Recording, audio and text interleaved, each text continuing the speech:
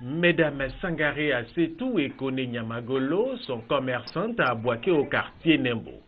Elles sont respectivement vendeuses de bazins et de chaussures. Leurs activités, qui ont pris un coup du fait de la crise que la Côte d'Ivoire a traversée, ont repris de plus belle avec l'appui de la première dame, Madame Dominique Ouattara.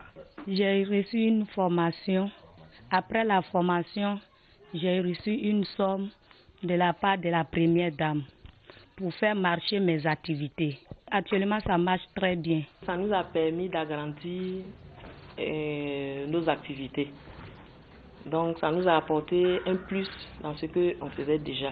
Leurs activités marchent, c'est vrai, mais compte tenu du fait qu'elles viennent de les relancer, elles souhaiteraient des facilités dans le remboursement. Je suis à la tête d'une association et on a une vingtaine de femmes, dont moi, la présidente, j'ai reçu 200 000 francs.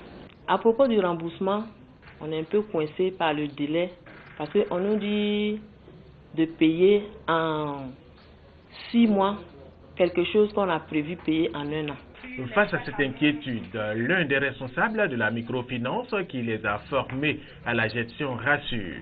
En ce qui concerne le délai du remboursement, le FAFSI même autorise jusqu'à un an. Et compte tenu du fait que on nous demande de faire un, encadrement rapproché, donc dans un premier temps, en fonction des activités de la femme, nous essayons de lui donner un crédit à court terme, à très court terme, pour que ça puisse faire du revolving. C'est-à-dire, si on lui donne à 4 mois, 5 mois, quand elle a pu rembourser, automatiquement on lui redonne encore. Ça nous permet de suivre cette dame-là de très près.